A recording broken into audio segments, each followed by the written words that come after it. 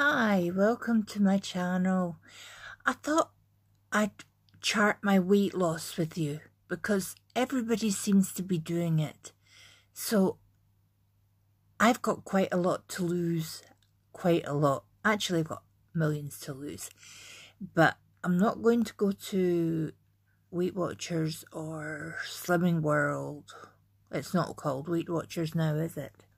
WW um, just now, I'm going to shock my body into dieting um, by doing Diet Now. Now, I don't know if anybody's seen it. You can get it on Groupon and uh, things like that, or you can get off their site. Um, but it's basically bars, shakes, porridges, granola, pancakes, um, soups, uh, noodles, um, pasta. It it's basically just a, but it all comes in a box, and you you're eating out the box. It's I I'm taking multivitamins as well because it says it, it covers all multivitamins, but there's no fresh fruit or fresh veg and that is what I'm missing the most. So, I stood on the scales today and I'm three kilograms down. Now, three kilograms, that's in one week, but that'll be your water and everything. They say that you know, it comes out the first week. So that's three kilograms, which is a kilogram is 2.2 pounds. So that's two, two, four, six, six, six point, oh, cranky, 6.6 pounds? Right, so I lost 6.6 pounds last week, which isn't bad. I haven't felt hungry. I've had some energy.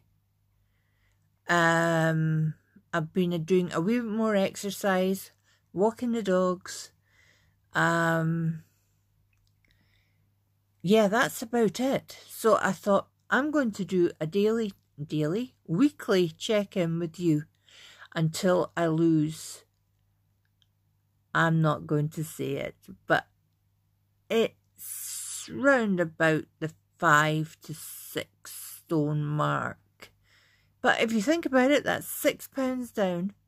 What did I say? It was six pounds down? Yeah, it was six pounds down. Um, so that I'm quite pleased at that. Um, so we'll just embark in the next week. Um, thank you. And I hope if you're on your diet, you've been good, you've lost weight, and if you want to write anything down underneath, please do. I'd love to know how you're getting on. It's good to and just be together and say, come on, you can do it. If you're having a bad day, you're wanting a bar of chocolate, you can do it. You don't need that bar of chocolate, you know? Your body can do without it. So, you take care. Stay safe. I'll see you next week, if not before. And that's it. Have a good week. Bye.